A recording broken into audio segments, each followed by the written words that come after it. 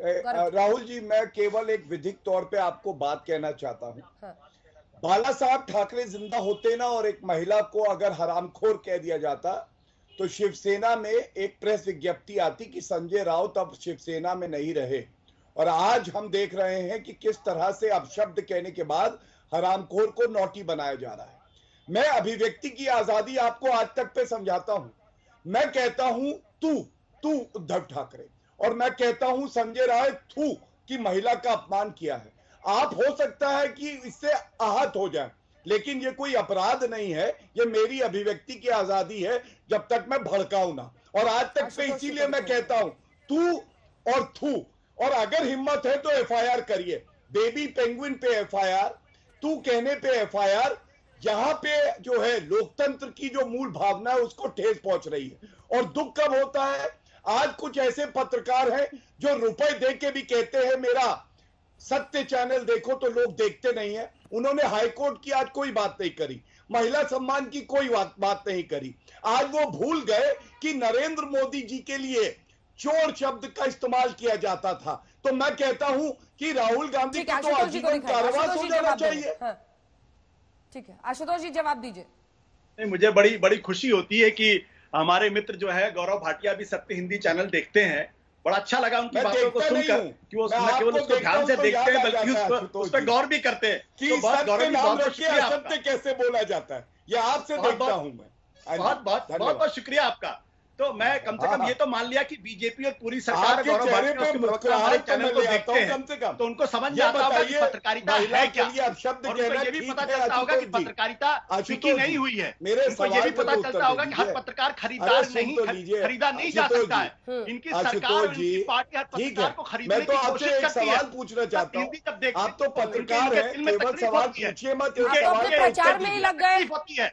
आशुतोष जी, आप तो अपने प्रचार में लग गए। तो गौरव भाटिया जी बहुत बहुत शुक्रिया। तो हमारे चैनल का इस्तेमाल करके अपने प्रचार में लग गए। सवाल पूछता हूँ मुझे मुझे अपनी बात मैं आपके ये लिए सवाल टॉपिक और इशू इम्पोर्टेंट नहीं है अपना प्रचार इम्पोर्टेंट हो गया। चलिए टॉपिक पे आइए सर नहीं, आप एक मिनट, आशुतोष भाई, एक तो सवाल है मेरा। भाटिया कर रहे हैं मैंने तो किया नहीं अपना प्रचार। आशुतोष भाई ऐसी भी क्या मत नाराज़गी लेख है लिखिए ना। आप हाँ, अपने तो ऊपर लेख मत लिखिए तो ले क्योंकि आपकी नज़र में बाकी दुनिया बेकार आप ही महान। लेकिन मुझे ये बताइए ना सर आपने भी तो शिवसेना की गुंडागर्दी पे कितने कार्यक्रम किए हैं? क्योंकि ऐसा नहीं है कि हम लोगों ने हमारी पीढ़ी ने आपकी पत्रकारिता नहीं देखी है? हमने देखा है शिवसेना की गुंडागर्दी शिवसेना का ये शिवसेना का वो आपने बहुत किया है। आज जब जर्नलिज्म हो तो आपको हर कोई बिका हुआ लगता है। लेकिन ये सवाल आपसे क्यों ना पूछा जाए कि जानबूझकर छवि बनाने की आड़ में आप लोग क्या एक तरफा नहीं लिखते हैं बातों को? ये क्यों आप आप, ये आप, आप ऐसा कैसे कर सकते हैं सर? अगर किसी पर अगर किसी पर नारकोटिक्स एक्ट के तहत केस चल रहा है वो आरोपी है और आप कंगना रनौत से तुलना करने लगते हैं। जो असंसदीय शब्द बोला है संजय राउत ने मैं उसको दोहराना नहीं चाहती। गौरव भाटिया उसको बोल रहे हैं बार बार लेकिन ऐसी भाषा क्यों ना बोल रहे? आप कल्पना कीजिए किसी और के लिए बोला गया होता आप कितने की गुस्से में होते सर। क्यों ना हो? क्योंकि मुझे पता है तो? महिलाओं से जुड़े मुद्दों पर एक वक्त पर आप बहुत मुखर होकर बोलते थे। ना ना अंजना जी वो डिपेंड करता है कौन सी महिला गांधी परिवार की महिला होगी तो आ जाएँगे डिपेंड करने। कंगना रनौत के लिए कोई कैसे आप शब्द बोले गए? इसका इसका कोई मतलब है सर? और फिर कह रहे हैं नोटी था। मैं तो नोटी कह रहा था। नोटी? नॉटी। मज़ाक है ये। मैं। एक, लड़की की मॉडेस्टी को। अप्रेज करने का मामला नहीं बनता है?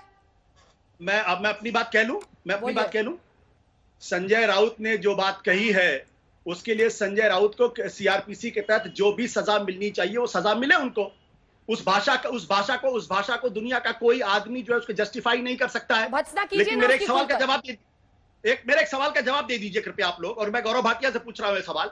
तो मैं अगर आपसे सवाल अगर शाहरुख खान ने आमिर खान ने सैफ अली खान ने सलमान खान ने अगर मुंबई को पीओके बोला होता तो आज गौरव भाटिया क्या कर रहे होते? मैं और क्या उनके घर को उनके पत्थर नहीं फेंके गए होते? जब आमिर खान के ने कहा था अपनी पत्नी का ज़िक्र करते हुए तो आमिर खान के साथ क्या बर्ताव हुआ था क्या मालूम है? ये सवाल बिल्कुल लाजमी है। जवाब दीजिए गौरव भाटिया। जवाब दीजिए। राष्ट्रवादी गौरव भाटिया। सुबह उठने से लेकर रात तक अब सबको कोसते रहते हैं। आज ये मानने को तैयार हो गई है देखिए मैं उत्तर देता हूँ चिल्लाइए मत चिल्लाइए मत सुनिए। सुनिए पहले। बातचीत अगर सलमान खान ने कही होती सुनेंगे? तो क्या हर्ष होता सलमान खान का हिंदी सुन लीजिए भाषा हिंदी। यूज़ कर रही सुनिए है आप मेरी उस पर। बीजेपी अंजना जी अब चुप पर कराएँगे तभी तो उत्तर दे पाओगे जमा हुआ है। क्यों जमा हुआ है भाई? नमस्कार मैं हूँ अंजना ओम कश्यप हमें उम्मीद है ये वीडियो आपको पसंद आया होगा। लेटेस्ट खबरों के लिए यूँ ही देखते रहिए आज तक और इस वीडियो के पसंद आने पर लाइक शेयर एंड सब्सक्राइब करना ना भूलें।